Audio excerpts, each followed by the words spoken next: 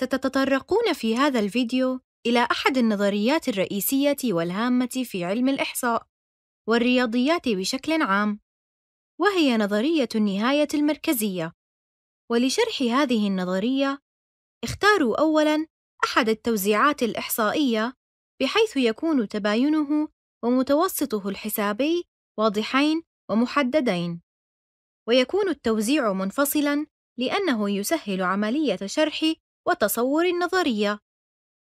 إذا افترضوا أن لديكم دالة توزيع احتمالي منفصل، وتأكدوا من أن هذا التوزيع الذي ستوضحونه على المستوى الإحداثي هنا لا يشبه التوزيع الطبيعي.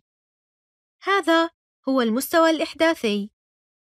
عينوا الأعداد من واحد إلى ستة على المحور الأفقي.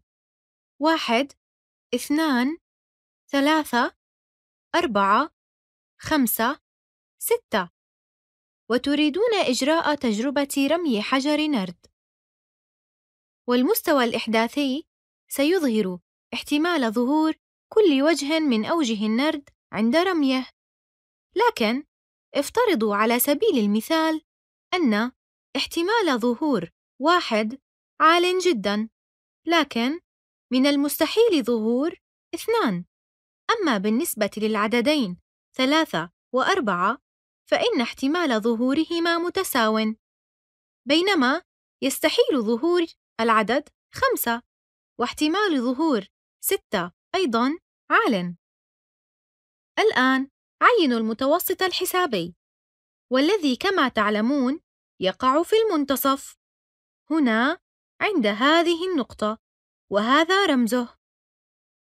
وبالنسبة للانحرافين المعياريين الأعلى والأدنى من المتوسط الحسابي، فإن أحدهما سيكون هنا تقريباً، والآخر هنا. هذا هو الشكل النهائي لدالة التوزيع الاحتمالي المنفصل. ما ستقومون به الآن هو أخذ مجموعة عينات من هذه المتغيرات العشوائية لإيجاد متوسطها، وملاحظة تكرار قيم المتوسط التي حصلتم عليها. حددوا أولاً حجم العينات التي ستقومون باختيارها، وليكن حجم العينة في هذا المثال n يساوي أربعة. بمعنى آخر، تتكون كل عينة من أربعة عينات. ابدأوا بالعينة الأولى وتتكون كما قلنا من أربعة عينات، وهي واحد وواحد مرة أخرى وثلاثة وستة. مرة أخرى، هذه هي العينة S رقم واحد وحجمها أربعة. العينة تشير عادة إلى مجموعة العينات المأخوذة من التوزيع، أما حجم العينة فيشير إلى عدد القيم أو عدد هذه العينات المأخوذة من التوزيع. هذا يعني أن كل عدد من هذه الأعداد يمثل عينة واحدة. ما عليكم القيام به الآن هو إيجاد المتوسط الحسابي لهذه العينات.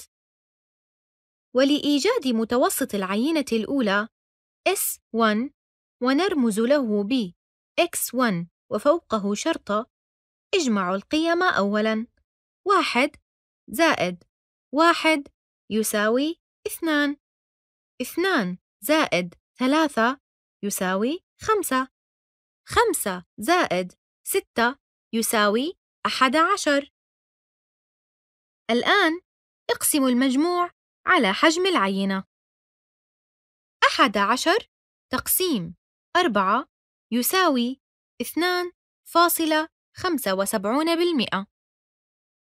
اختاروا عينة أخرى. العينة الثانية S2 تتكون من العينات. ثلاثة أربعة ثلاثة وواحد. لا تنسوا أنه من المستحيل الحصول على العددين اثنان وخمسة حيث أن احتمال ظهورهما عند رمي النرد يساوي صفر وفقا للتوزيع أعلاه. احسبوا المتوسط الحسابي للعينة الثانية X 2 ثلاثة زائد أربعة يساوي سبعة. سبعة زائد ثلاثة يساوي عشرة.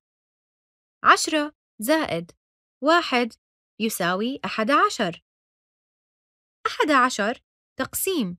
أربعة يساوي اثنان فاصلة خمسة وسبعون بالمئة. اختاروا عينة ثالثة S3 وكرروا الخطوات السابقة ذاتها. مجموعة العينات التي تتكون منها هذه العينة هي واحد و واحد و ستة و ستة. واحد زائد واحد يساوي اثنان. اثنان زائد ستة يساوي ثمانية. ثمانية زائد ستة يساوي أربعة عشر. أربعة عشر تقسيم. أربعة يساوي ثلاثة ونصف. سأعيد بشكل سريع ما قمنا به. اخترتم مجموعة عينات من التوزيع الموضح أمامكم على الشاشة. حجم العينة الواحدة يساوي أربعة. ثم حسبتم المتوسط الحسابي لكل عينة على حدة. وما ستقومون به الآن هو تمثيل المتوسطات على مخطط التوزيع التكراري. حسناً ارسموا مخطط التوزيع التكراري هنا. المتوسط الحسابي للعينة الأولى يساوي 2.75% عينوه على المخطط هنا. المتوسط الحسابي للعينة الثانية أيضاً يساوي 2.75% إذا تكررت القيمة 2.75% مرتين. المتوسط الحسابي للعينة الثالثة يساوي 3.5 عينوا أيضاً القيم الأخرى التي من الممكن الحصول عليها عند حساب متوسط عينات أخرى. عينوا هنا ثلاثة و ثلاثة فاصلة خمسة وعشرون و ثلاثة فاصلة خمسة. متوسط العينة الثالثة يساوي ثلاثة فاصلة خمسة. لذا أرسم مربعاً هنا. يمكنكم اختيار عشرة آلاف عينة. لتكن هذه العينة رقم عشرة آلاف. كيف سيبدو شكل المخطط بعد تعيين جميع النتائج عليه؟ أعيدوا رسم مخطط التوزيع التكراري. هنا. عينوا النقطة الأولى هنا عند 2.75% والنقطة الثانية أيضاً هنا. وعينوا نقطة عند العدد 3.5 بعد الاستمرار بتعيين النقاط وصولاً إلى المتوسط الحسابي للعينة رقم عشرة آلاف ستلاحظون أنه كلما ازداد عدد النقاط على مخطط التوزيع التكراري تتخذ النقاط شكلاً يشبه منحنى التوزيع الطبيعي. كل نقطة من هذه النقاط تمثل المستوى الحسابي لعينة حجمها يساوي أربعة. N يساوي أربعة. افترضوا الآن أن حجم العينة يساوي عشرين بدلاً من أربعة فقط. لو حسبتم المتوسطات الحسابية لمجموعة من العينات التي تتكون من عشرين عينة فما هو الاختلاف الذي سيطرأ على مخطط التوزيع التكراري في هذه الحالة؟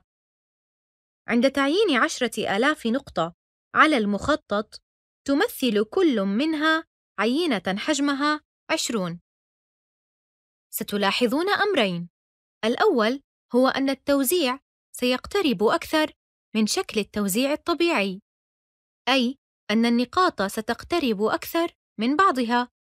مع الإشارة إلى أن قيمة المتوسط الحسابي لن تتغير. عينوه هنا عند هذا الخط.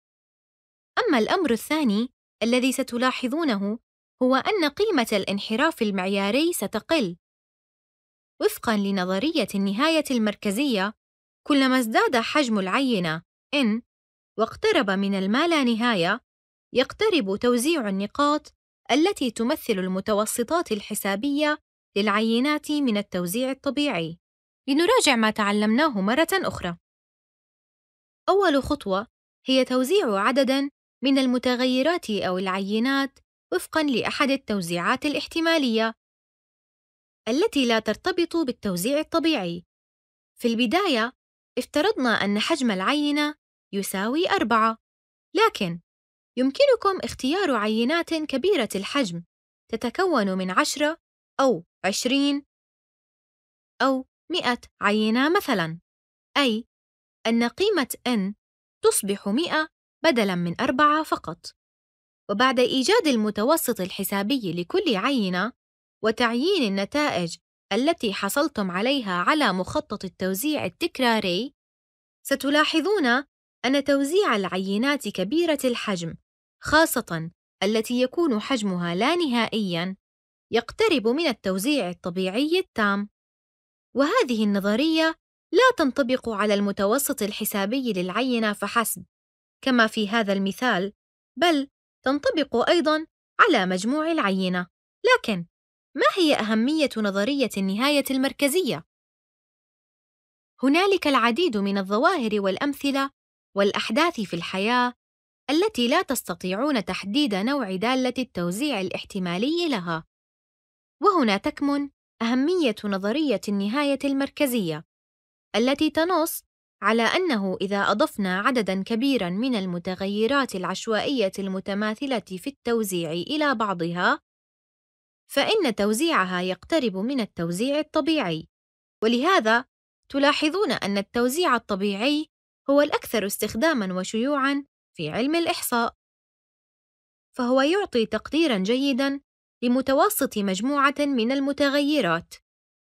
وفي الفيديوهات القادمة ستتطرقون إلى أمثلة عملية توضح هذه النظرية أكثر.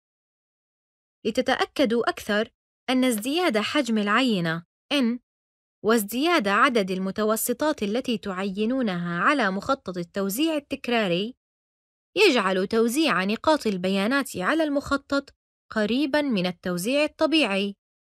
وبهذا ينتهي الدرس.